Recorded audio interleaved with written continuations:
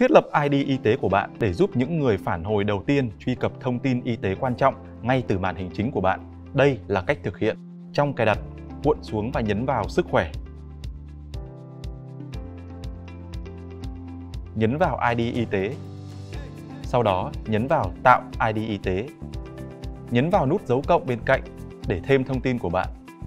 Đối với ví dụ này, chúng tôi sẽ thêm một liên hệ khẩn cấp. Bây giờ, hãy chọn một liên hệ, sau đó chọn mối quan hệ của họ với bạn. Bật hiển thị khi bị khóa nếu nó chưa được bật. Khi bạn hoàn tất, hãy nhấn tiếp theo để xem lại thông tin của bạn để đảm bảo thông tin đó chính xác. Sau đó, nhấn vào xong.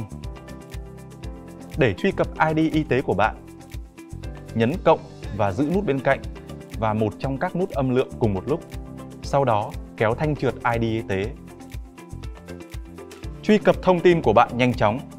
Để tìm hiểu thêm về cách sử dụng iPhone hoặc iPad của bạn, hãy đăng ký kênh YouTube Top Zone hoặc nhấp vào video khác để tiếp tục xem.